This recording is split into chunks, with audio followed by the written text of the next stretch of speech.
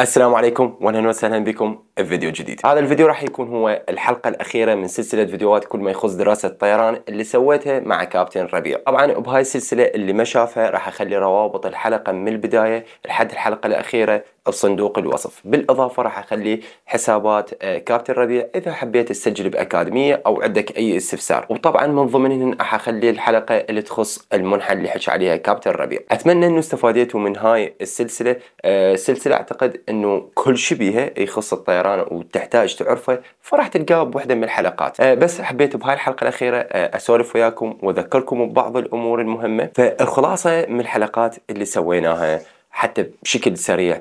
إنه وطبعا قبل ندخل شوي بكم موضوع مهم أريد اسولف به وياكم آه، الحلقات بكل آه، موقع من مواقع التواصل الاجتماعي الخاص بي سويت لهم folder أو سويت لهم playlist يعني تروح على الانستغرام راح تلقى بال highlight دراسة طيران والروابط مال الحلقات وراح تروح على التيك توك كذلك راح تلقى حافظة خاصة بدراسة الطيران وعلى اليوتيوب إن شاء الله هم حافظة خاصة بدراسة الطيران. فحتى ما تتعب مرة ثانية ما تحتاج أي معلومة عن دراسة الطيران تدخل هاي الحافظات وراح تلقى الحلقات. من أول حلقة لحد آخر حلقة. اللي ردت أقوله بهذا الفيديو شنو؟ إنه الخلاصة إنه دراسة الطيران ما تهتم المعدل ما تهتم إلى تخرج شنو؟ لين هو مشروع شخصي تروح على حسابك الشخصي. تبدا تكمل شهادة جامعية ويدورون وياك هاي الأمور. إنه مجرد تكون صحتك زينة وتكون مؤهل شوي بالاختبارات بسيطة يختبروك.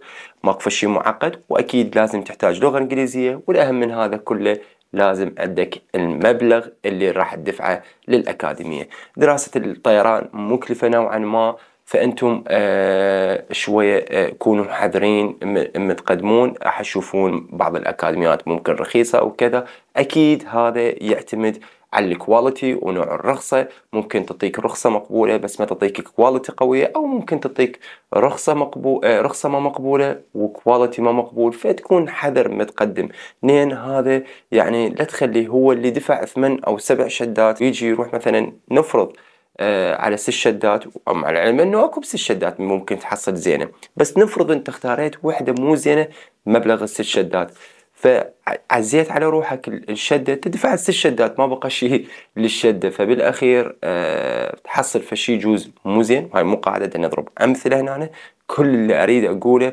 إنه دراسة الطيران هو مشروع العمر. انت هنا دا تسوي روحك بروحك. ف آه، يعني لا توقف على شيء بسيط بالنهاية راح تتندم من يمه. عرفت؟ هواي ناس آه، حصلوا رخص ما مقبولة ورجعوا عادلوا من جديد وخسروا وقت وخسروا فلوس من جديد.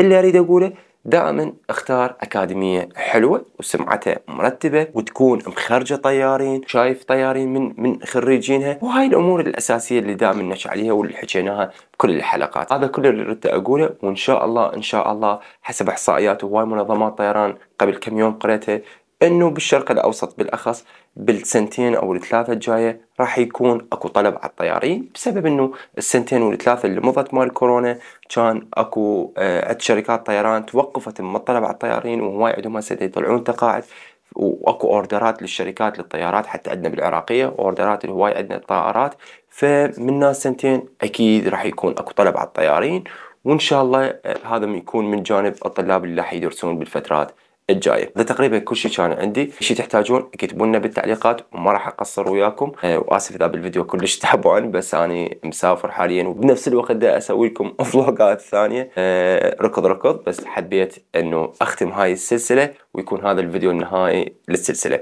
وأكيد أتمنى لكم استفاديتوا من يمه. في الله وأشوفكم بفلوج جديد أو بفيديو جديد. في الله حبايبي.